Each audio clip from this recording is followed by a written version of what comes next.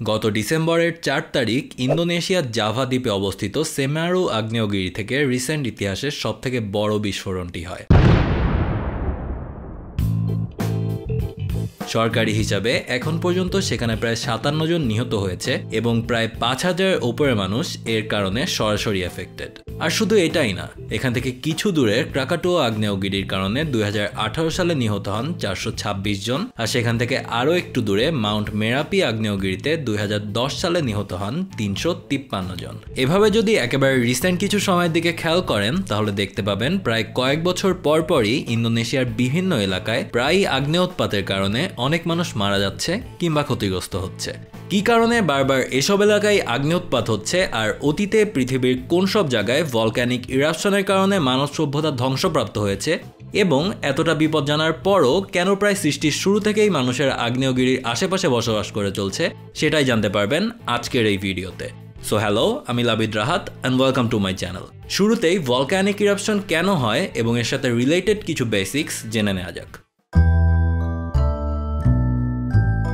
প্রথমেই দুইটা ইনফরমেশনের কথা বলব, যেটা নিয়ে আমরা অলরেডি অনেকেই জানি। পৃথিবীর কেন্দ্র বা কোরে রয়েছে উচ্চ তাপমাত্রার ম্যাগমা, আর আমাদের ঠিক পায়ের নিচে ম্যাগমা থেকে আমাদেরকে আলাদা করেছে পৃথিবীর অসংখ্য টেকটনিক প্লেট আমি জানি এর মাঝে আরও অনেক কিছু লেয়ার থাকার কথা, কিন্তু আজকের ভিডিও টপিকটা যেহেতু শুধুমাত্র আগ্নেয়গিরি নিয়ে, তাই এর সাথে রিলেটেড জিনিসগুলো বাদে অন্যগুলো চিন্তাপত্র বাদ দিই। তো এই টেকটনিক প্লেটের সংখ্যাও কিন্তু অনেক, যার মধ্যে সব থেকে বড় দশটি প্লেটকে বলা হয় মেজর প্লেটস এছাড়াও আছে অনেকগুলো মাইনর প্লেট এমনকি মাইক্রো প্লেটও রয়েছে অসংখ্য। তো এই টোটাল সব প্লেটকে আবার দুইটা ভাগে ভাগ করা যায়। খুব সহজ একটা হিসাব, যেই প্লেটগুলোর ওপর ল্যান্ড বা ভূমি আছে, তাদেরকে বলা হচ্ছে কন্টিনেন্টাল প্লেট আর যেগুলোর ওপর বড় বড় মহাসাগরের অবস্থান, সেগুলোকে বলা হচ্ছে ওশেয়ানিক প্লেট যখন দুইটা কন্টিনেন্টাল প্লেট একে অন্যের সাথে সংঘর্ষে লিপ্ত হয়, তখন এখান থেকে বড় বড় পর্বতমালার সৃষ্টি হয়, যেমন আমাদের মোটামুটি কাছেই অবস্থিত হিমালয় পর্বতমালা। আর যখন দুইটা ওশেয়ানিক প্লেট একে অন্য থেকে দূরে সরে যায়, তখন এর মাঝ থেকে পৃথিবীর কেন্দ্রে থাকা ম্যাগমাগুলো বের হয়ে আসতে থাকে। আর এই ম্যাগমা সমুদ্রের পানিতে ঠান্ডা হতে হতে একটা নতুন দ্বীপ পর্যন্ত তৈরি করে ফেলতে পারে। এমন একটি দ্বীপ তৈরি হয়েছে মাত্র কয়েক মাস আগে জাপানের টোকিও শহরের প্রায় বারোশো কিলোমিটার দক্ষিণে। দুই সালের আগস্ট মাসেই জাপানিজ কোস্টগার্ডের নজরে আসে নতুন এই দ্বীপটি। যাই হোক, এই দুইটা কেসের কোনোটাই এই ভিডিওর জন্য তেমন ইম্পর্টেন্ট না। ইন্টারেস্টিং ব্যাপারটা তখন ঘটে যখন একটা কন্টিনেন্টাল প্লেট আর একটা ওশানিক প্লেটের মাঝে সংঘর্ষ হয়। এই দুইটা প্লেটের সংঘর্ষের সময় স্বাভাবিকভাবেই ওশানিক প্লেটটা কন্টিনেন্টাল প্লেটের নিচে চলে যেতে থাকে। আর নিচে যাওয়ার সাথে সাথে পৃথিবীর কেন্দ্রের উচ্চ তাপমাত্রার কারণে ওশানিক প্লেটটা আস্তে আস্তে গলে যেতে শুরু করে, যার ফলে কিছু অতিরিক্ত নতুন লিকুইড ম্যাগমা সেই সময় তৈরি হয়। এই অতিরিক্ত ম্যাগমাটাই তখন পৃথিবীর সারফেস ভেদ করে ওপরে উঠে আসতে চায়, আর এ থেকেই সৃষ্টি হয় একটা ভলক্যানো বা আগ্নেয়গিরি। ইন্দোনেশিয়াতেও কিন্তু এই একই ঘটনাই ঘটছে। এখানেও দুইটা প্লেট ক্রমাগত একে অন্যের দিকে এগিয়ে আসছে আর যার ফলে নতুনভাবে অতিরিক্ত কিছু ম্যাগমা সৃষ্টি হচ্ছে। আর সেই ম্যাগমাগুলোই কিছুদিন পরপর ভলক্যানিক ইরাপশনের মাধ্যমে বের হয়ে আসছে। আর শুধুমাত্র ইন্দোনেশিয়াতেই না, এমন সারা বিশ্বের অনেক জায়গায় টেকটনিক মুভমেন্টের কারণে প্রায়ই এমন অগ্নিউৎপাত হয়ে থাকে। যার মাঝে যদি খেয়াল করেন, সারা পৃথিবীর তুলনায় এই প্যাসিফিক ওশানকে ঘিরে ভলক্যানিক অ্যাক্টিভিটির পরিমাণ সব থেকে বেশি। এ কারণে এই এলাকাকে বলা হয় রিং অফ ফায়ার। ওকে, আগ্নেয়গিরি কীভাবে সৃষ্টি হয় আর কিভাবেই বা আগ্নেয়োৎপাত হয় সেটা বললাম। এবার একটা ইন্ডেক্স সম্পর্কে ধারণা দেই। আমরা বিভিন্ন প্রাকৃতিক দুর্যোগের তীব্রতা মাপতে প্রায় অনেকে ইন্ডেক্স ব্যবহার করে থাকি। যেমন ভূমিকম্প হলেই আমরা এর মাত্রা জানতে চাই বা অন্যান্য ক্ষেত্রে এমন অনেক কিছুই। আগ্নেয়গিরির ক্ষেত্রে এটাকে বলা হয় ভলক্যানিক এক্সপ্লোসিভিটি ইন্ডেক্স বা ভিইআই কীভাবে ভিইআই মেজার করা হয় সেটা বলছি।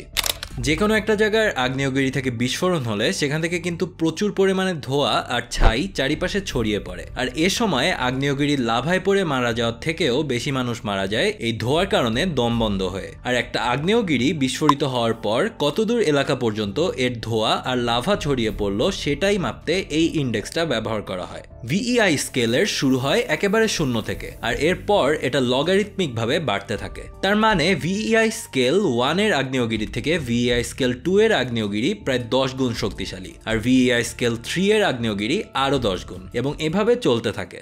আজ পর্যন্ত মানব ইতিহাসে জানা সব থেকে বেশি মাত্রার ভলক্যানিক ইরাপশনটা হয়েছিল ভিইআই সেভেন স্কেলে। এটা হয় আঠারোশো পনেরো সালে, আর জায়গাটাও আপনি চাইলেই অনুমান করতে পারবেন। হ্যাঁ আবারও ইন্দোনেশিয়া।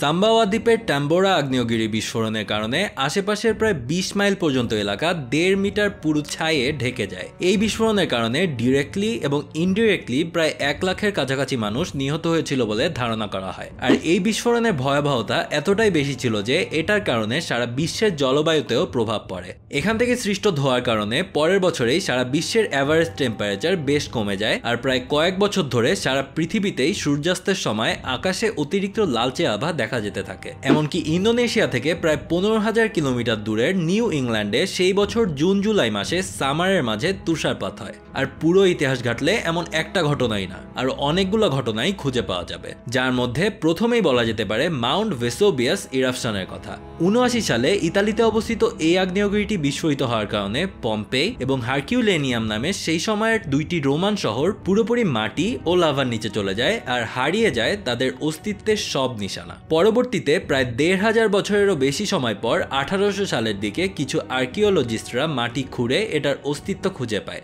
আপনারা যারা মার্ভেলের লোকি টিভি সিরিজটি দেখেছেন, সেখানেও কিন্তু এই আগ্নেয়গিরির বিস্ফোরণ এবং এখানের মানুষদেরকে দেখানো হয়েছিল। যারা দেখেন নাই, তাদের জন্য ডিটেলস বলে স্পয়লার দিচ্ছি না, কিন্তু যারা দেখেছেন, do let me know in the comments.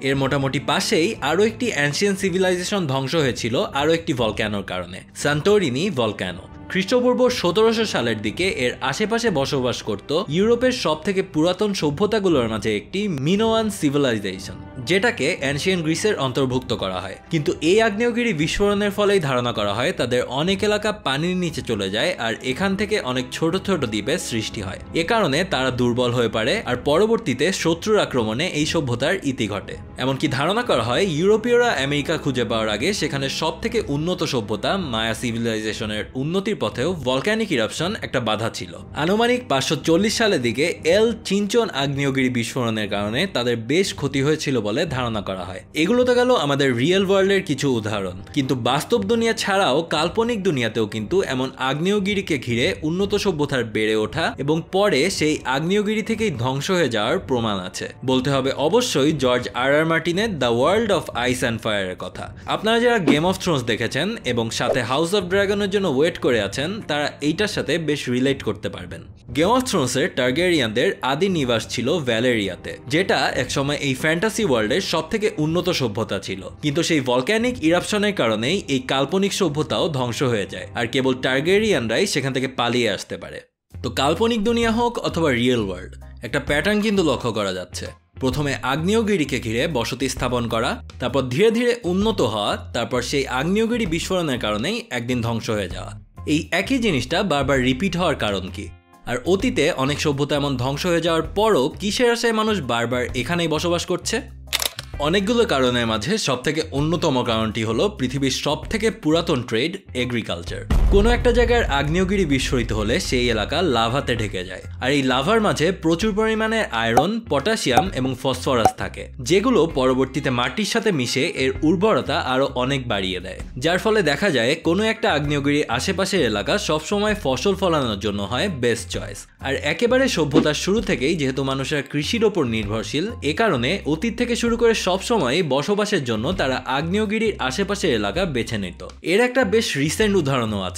হাজার দুই সালে কঙ্গোর মাউন্ট নিয়ারি নিয়ারিগঙ্গ বিস্ফোরিত হয়, যার ফলে কিছুদিনের জন্য মানুষের এর আশেপাশে এলাকা ত্যাগ করে চলে যায়। কিন্তু পরবর্তীতে যখন সেখানে মানুষ আবার বসতি গড়া শুরু করে, তখন দেখা যায় এখান থেকে কৃষকেরা আগের তুলনায় প্রায় দ্বিগুণ ফসল ফলাতে পারছে। আর দ্বিতীয় কারণটা হলো মিনারেলস অ্যান্ড র ম্যাটেরিয়ালস আগ্নেয়গিরি বিস্ফোরণের সাথে সাথে মাটির গভীর থেকে বিভিন্ন দামি এবং গুরুত্বপূর্ণ খনিজ পদার্থ উপরে উঠে আসে। এর মাঝে সালফার, অ্যালুমিনিয়াম, স্বর্ণ থেকে শুরু করে ডায়মন্ড পর্যন্ত পাওয়া যেতে পারে। এ কারণে প্রায়ই বিভিন্ন আগ্নেয়গিরিকে ঘিরে মাইনিং ভিলেজ গড়ে উঠতে দেখা যায়। যদি এমন একটা উদাহরণও চাই, তাহলে বলতে হবে ইন্দোনেশিয়ার ইজেন আগ্নেয়গিরির কথা। সেখান থেকে প্রচুর পরিমাণে সালফার পাওয়া যায়। আর বাস্তব দুনিয়া বাদেও গেম অফ থ্রোনসের দুনিয়াতে গেলেও পাওয়া যাবে এক একই উদাহরণ। ভ্যালেরিয়া থেকে এমন একটি দামি খনিজ পাওয়া যেত। সেটা ছিল ভ্যালেরিয়ান স্টিল। আমরা কিন্তু পুরা গেম অফ থ্রোন সিরিজ জুড়েই এটার মূল্য এবং রেয়ারিটি সম্পর্কে আইডিয়া পেয়েছি। আর তাছাড়াও এখান থেকে বর্তমান সময়ে জিওথার্মাল এনার্জিও তৈরি করা যায়, যেটার অনেক বড় একটা উদাহরণ হলো আইসল্যান্ড তো এসব কারণেই অনেক আগে থেকেই মানুষের আগ্নেয়গিরির আশেপাশে বিপদ জানার পরও বসবাস করে আসছে। তা আজকের মতো ভিডিও এখানেই শেষ। আপনারা যারা এই পর্যন্ত দেখেছেন এবং গেম অফ থ্রোনসের ফ্যান তারা কমেন্ট করে জানাবেন হাউস অফ ড্রাগনস নিয়ে আপনাদের এক্সপেকটেশনটা কীরকম যেহেতু এটা এই বছরই রিলিজ পাওয়ার কথা। So until my next upload have a good week good bye O and সোর্সগুলো সব ডিসক্রিপশন বক্সে দেওয়া থাকবে as usual bye